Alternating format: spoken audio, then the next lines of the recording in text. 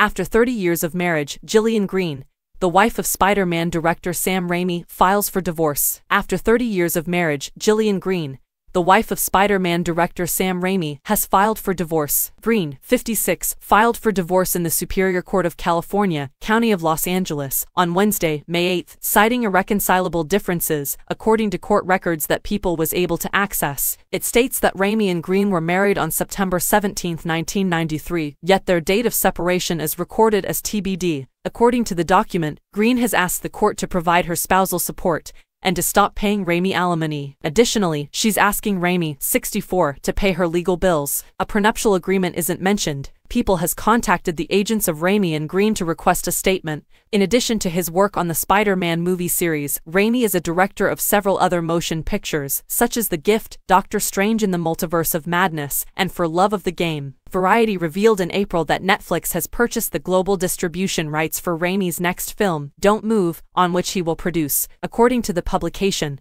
the project follows a seasoned serial killer who injects a grieving woman with a paralytic agent while the two of them are isolated deep in the forest. Kelsey Asbille and Finn Wittrock are the stars of the movie. As the agent gradually takes over her body, she must run, hide, and fight for her life before her entire nervous system shuts down, according to the report. Raimi addressed speculations that he was working on Spider-Man 4 in an interview with comic book resources earlier this month. Well, I've not heard of that as of yet. Although I have read it, I haven't started working on it yet. Marvel and Columbia are currently enjoying great success with their Spider-Man films, and the tie-in there, so I'm not sure if they'll come back to me and say, hey, folks, we can also tell that story. Raimi remarked, I love all the new Spider-Man movies, but I'm not sure.